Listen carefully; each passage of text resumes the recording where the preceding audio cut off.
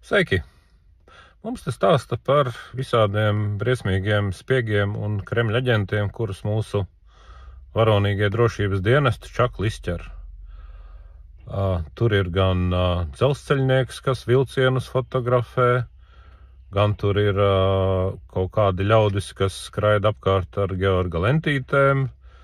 Tur ir uh, senīls saimas deputāts Adamsons, kurš šodien zaudējis jau kādas pielaides valsts noslēpumam. Tur ir uh, Dūls Lindermans, kurš tiek tiesāts jau neskuro reizi par kaut kādiem sarakstītiem pekstiņiem. Tur ir sasodītāja vecā ragana draņķa Tatjana Ždanuka, kurai nekad pārskatāmā pagātnē nav bijusi nekāda pieeja Latvijas noslēpumiem un nekāda ietekme uz Latvijas iekšpolitiku. Šie ir cilvēki, kas tiek uzdoti par baisākajiem Latvijas ienaidniekiem un Kremļa spēkiem un aģentiem. Ok. Bet tagad padomājiet loģiski, ja spējat, protams. Mums ir kaimiņu valstis, kuras tieši tāpat kā Latvija ir vēsturiski smagi cietušas no Krievijas, vai no Padomu Savienības, vai no Krievijas impērijas, kā nu viņi tur kuro brīdi ir saukusies.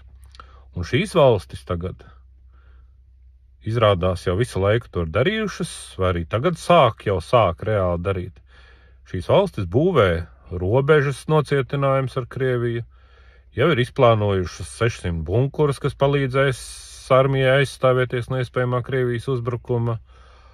Uh, ir jau apzinājušas un izveidojušas bumbu patvērtnes saviem iedzīvotājiem, un tam ir skaidri plāni, cik ilgā laikā kas tiks izdarīts. Un tad ir Latvija, kura nav spējusi pat nožēlojumu drāšu žogu uz robežas sabūvēt. Par kaut kādiem bunkuriem, mīnu laukiem vēl nesko pat nerunājot, kur ir noslēgusi līgumus par bruņojumu iegādi, kas tiks piegādāts pēc diviem, trim un vairāk gadiem. Toties šī Latvija būvē, šī Latvija būvē jaunu cietumu, kas, kā tieslietu ministrs izstrādājums vienotības vēža pārstāv Inese Lībiņa, līgsmi skaidrā būs gatavs daudz ātrāk nekā vajadzētu. Šī valsts būvē grandiozu, ne ta 50, ne ta visas 100 miljonus izmaksājuši valsts drošības dienas tēku pilsētas centrā, Šī valsts būvē tagad jaunu satversmes aizsardzības biroja ēku, kas izmaksās pēc viss spriežot nemazāk.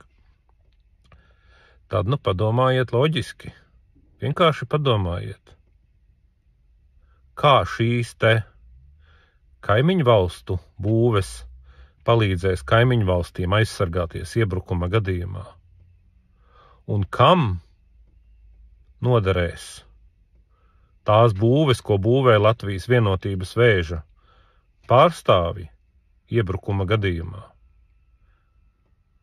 Agresoram, un mēs skaidri saprotam, kurš ir vienīgais iespējamais lielais agresors, nevajadzēs nekādas tālā nākotnē, tuvā nākotnē, nekādas robežu nocietinājuma būves uz Latvijas-Krievijas robežas.